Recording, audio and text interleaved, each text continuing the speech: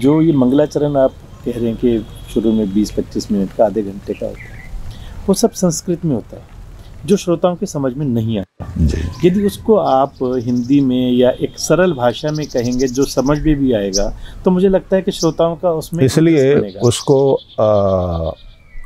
Translation के साथ श्लोकों को छपवाया जाता है और लोगों तक पहुँचाने का प्रयास किया जाता है कि भाई आप ये पढ़ो।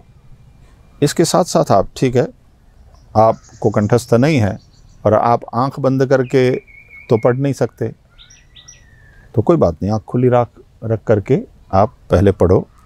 पहले जब जब आपको समय मिले तो इसके अर्थ को पढ़ लो, समझ लो। फिर धीरे धीरे करते करते करते ये बाय हार्ट हो जाएगा। फिर आप हमारी तरह आँख बंद करके मंगलाचरण के श्लोकों का पाठ करते करते आप तजपस तदर्थ भावनम के भाव से मन तो तब भी जय को जाएगा इधर उधर क्योंकि मन चंचल है। आपको लगता है कि अगर उन श्लोकों का हिंदी में अनुवाद करके और उनका उच्चारण किया जाए तो ज़्यादा प्रभावशाली नहीं होंगे? नहीं। नहीं होंगे। नहीं।